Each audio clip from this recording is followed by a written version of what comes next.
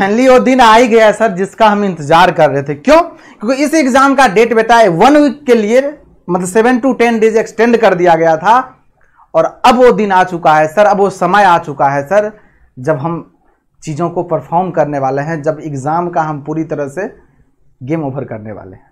Yes बहुत सारे बच्चों को ये भी लग रहा होगा ना सर और कुछ दिन टाइम मिल जाता और अच्छे से तैयारी हो, हो जाता। एक्चुअली में ऐसा होता ही है। जब तक एग्ज़ाम का देने नहीं जाओगे ना, तब तक आप प्रिपरेशन फ़ेज़ में ही रहते हो। कितनों तो ऐसे करेंगे ना जो सेंटर पे जाओगे, पूरे बुक और उठा के लेके चले जाना सेंटर पे। वहीं पे पढ़ लेना, क्या पता वहीं से सारा क्वेश्चन उठ के आ जाए। ऐसा भी गलती करते हो आप लोग। और आप लोग ये नॉर्मल चलता ही ऐसा ट्रेंड ही चल रहा है।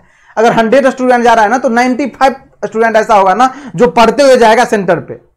और वहाँ पे लगेगा यहीं से क्वेश्चन उठ के आ रहा है। भाई, इतना दिन पढ़े, वहाँ से नहीं कॉन्फिडेंस आ रहा है क्या? तो अब ये दो घंटे में, एक घंटे में क्या कर लोगे आप? तो सबसे पहली बात सुन लेना ये वीडियो देख रहे हो ना जितने लोग। सुन लेना बेटा, जितना पढ़ना था पढ़ चुके आप। जो करना है एग्ज़ाम में हो जाएगा आपका टेंशन नहीं लेना है आपको। ये जो आपके अंदर से कॉन्फिडेंस आपको लग रहा है ना सब चीज़ भूल गए सर कॉन्फिडेंस नहीं आ पा रहा है सर ये आपके साथ नहीं हो रहा है। जो एग्ज़ाम में टॉप मारेगा, उसके साथ भी यही कंडीशन है। पूछ लेना उनसे। जो तुम्हारा दोस्त टेस्ट में अच्छा लेके आ रहा है ना, उससे पूछना, भाई, क्या आ रहा है कॉन्फिडेंस एग्ज़ाम में कैसे जाने वाला है तो उसको भी लगा अरे यार, सब चीज़ भूल गए हैं। तो ये सिंगल तुम पहली बार एग्ज़ाम देने जा रहे हो, या दूसरी बार जा रहे हो, तुम्हारे साथ में, जो पांचवी बार भी जा रहा होगा ना, उसके साथ भी यही सिचुएशन होगा बेटा। तो घबराना नहीं है आपको, पैनिक नहीं करना है आपको। गर्मी का टाइम है थोड़ा सा हेल्थ का भी ध्यान रखिएगा तो पानी का बॉटल वगैरह ले लीजिएगा, बाकी एडमिट कार्ड आप लोग अच्छे से अरेंज कर लिए होंगे। इस सबको प्रॉपर कैरी करके लेके जाना, और हाँ कुछ छोटी छोटी गलतियाँ हैं जिसको आप एग्ज़ाम में करते हो जिसके वजह से थोड़ा सा स्कोर सर और अच्छा आ सकता था नहीं ले आ, ले आ पाए सर। तो इस चीज़ों को ध्यान दीजिएगा।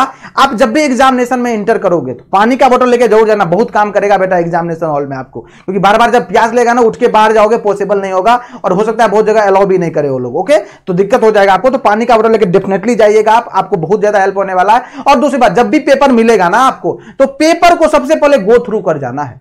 पेपर को इधर से उधर घूम जाना है पूरी तरह से।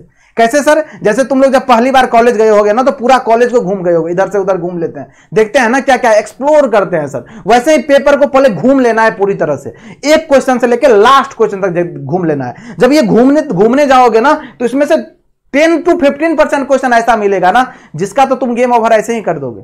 हो सकता है कोई यूनिट पूछ लेगा सर हो सकता है कोई डायरेक्ट सीरीज़ और पैरेलल वाला चीज़ पूछ लेगा सर जैसे रेसिस्टेंस का सीरीज़ पैरेलल में कहता इस तरह का क्वेश्चन मिल जाए। हो सकता है कोई डायरेक्ट क्वेश्चन जो तुम्हें अच्छे से आता हो, वो पूछ ले सर इस तरह से क्वेश्चन आएगा पेपर में। पेपर में वही चीज़ पूछेगा, यार, जो तुम पढ़े हो इतने दिनों से, इतने दिन पढ़े हो, इतने रात पढ़े हो, इतने दिन जग के पढ़े हो तुम लोग, वही पेपर में आने वाला तो परेशान क्यों हो रहे हो? तो वही चीज़ करना है आपको और थोड़ा सा पेशेंस रख के, थोड़ा सा अपने आप पे कॉन्फिडेंस रख के चीज़ों को हैंडल करना है, इसी तरीके से हो जाएगा चीज़ें। तो इस सब चीज़ों को ध्यान दीजिएगा पेपर में पूरा घूमना है सर। और एक बार जब घूम के आ गए ना तो आप कैटेगराइज कर लोगे पेपर में, इस क्वेश्चन में कितना टाइम देना इस क्वेश्चन में कितना टाइम देना है, और इसके बाद पेपर में कंटिन्यू अटेम्प्ट करते रहना चीज़ों को। और हाँ किसी भी क्वेश्चन के साथ प्यार मत कर लेना, किसी भी सब्जेक्ट के क्वेश्चन के साथ। ऐसा नहीं सर, ये सब्जेक्ट मेरा फेवरेट है, कैसे नहीं बनेगा सर?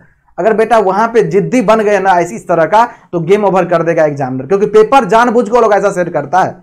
जो तुमको लगा सर बन जाएगा, नहीं बन रहा है, छोड़ दो भाई। पाँच मिनट टाइम देना नहीं है क्वेश्चन पे। पाँच मिनट तुम और भी क्वेश्चन है ना, उसको देखो ना, हो सकता है वो क्वेश्चन तुमसे बन जाए। वो सब्जेक्ट तुम्हारा फेवरेट नहीं रहा होगा। तो ऐसा गलती नहीं करना, जो तुम्हारा फेवरेट सवाल है क्वेश्चन बने, एक मिनट दो मिनट मैक्सिमम सर तो ठीक है, नहीं तो फिर हम नेक्स्ट में मूव कर जाएँगे सर और जब आप अपने पास टाइम मिलेगा ना ओवरऑल पेपर अटेम्प्ट करने के बाद, तब उस क्वेश्चन पे तुम टाइम देना, कोई दिक्कत नहीं है. तो वहाँ से टाइम बचेगा तभी, और मोस्ट ऑफ़ द स्टूडेंट के पास टाइम नहीं बचता है पेपर में. और कोई ज़रूरी नहीं है हंड्रेड परसेंट ही बना करना, बिल्कुल नहीं. अगर आप नाइन्टी फाइव परसेंट ही बनाते हो ना, बहुत अच्छा है. नाइन्टी परसेंट बनाते हो, बहुत अच्छा है, लेकिन करेक्ट बनाना एक्यूरेसी रखना this is very important for you okay तो ऐसे ही जाइए, मस्त अच्छे हुए में। आप लोग इतना पढ़े हो, इतना मेहनत किए हो एग्ज़ाम में डेफिनेटली अच्छा करने वाले हो। पूरी जेनिक टीम की तरफ़ से आप सभी को ऑल द वेरी बेस्ट जाइए, अच्छे से फोड़ के आइए, मिलेंगे फिर। जब आप एग्ज़ाम देके आओगे ना तो फिर मैं वीडियो बनाऊँगा।